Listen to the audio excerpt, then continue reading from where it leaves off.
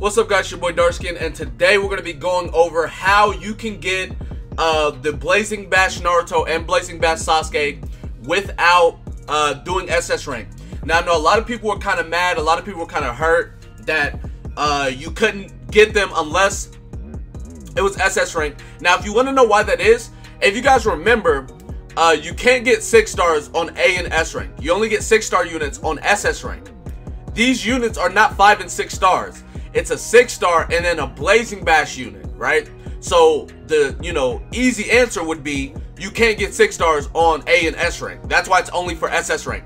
But they they thought of this, so there's a way for you to get them without that. Now, if you go right here to the um, Ninja Trials or whatever, if you go right here to the Ninja Trials, and you go to the limited Ninja Trials, scroll down, right here it shows that uh like if you do SS rank five times, you get this Naruto.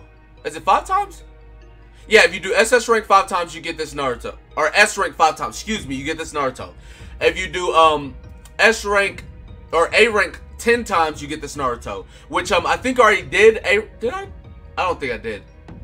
Yo, I'm tripping. Alright, so if you do A rank 10 times, you get Naruto. If you do S rank 5 times, you get Naruto. Same thing for Sasuke. If you do Sasuke um 10 times, you get them on A rank. And then if you do Sasuke five times on S rank, you get them. And um, I'm pretty sure there's you can get more than just these four copies. But um, yeah, I think it's a really cool thing that they added into the game, seeing as um, they knew this event was going to be hard. They knew a lot of people weren't going to be able to do SS rank, but A rank and S rank are not that hard. They're like really, really easy to do. So it's quite understandable why they went this route. Um, I know a lot of people are going to be mad about it. I know a lot of people are going to feel some type of way about it. And I mean, I, I get it. I understand. But at the end of the day, guys, like, you got to understand, like, eh, you, you can't be mad that they did it that way. So, um, I don't think the missions are up right now. But, um, we're going to go ahead and see. Uh, oh, I turned my overlay off. Oop. I, I didn't mean to do that. Uh, yeah, so let me go ahead and, um,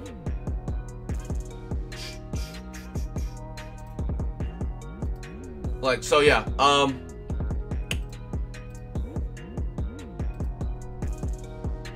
yeah, so, okay, well, they're not out right now, so I can't really do anything. But anyways, uh, yeah, so, um, honestly, if you guys want to, just focus on A and S rank, because A and S rank, you're allowed to, um,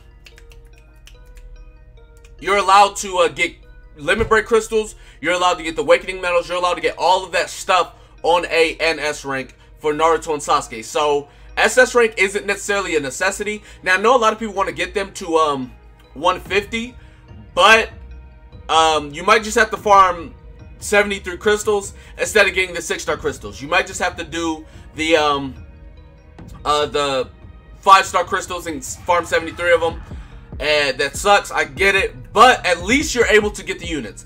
I know a lot of people were worried about they weren't going to be able to get the units, me included, but this way you'll you'll be able to do that. Now, um, I haven't even done the S. I haven't done any Sasuke, right? I ended up being SS rank on Naruto uh, with my four Sasuke, um, my four Sasuke team that I had.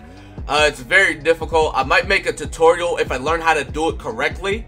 Um, I don't know. We'll see. But yeah. So, uh, anyways, short video. I just want to tell you guys that that's how you can do it and everything like that. That's going to be it for this video. Be sure to give it a like, subscribe to the channel if you're new. Comment down below. Tell me, telling me, comment down below. Tell me what you guys think in the comment section below. With that being said, I'll see you guys next time. Peace.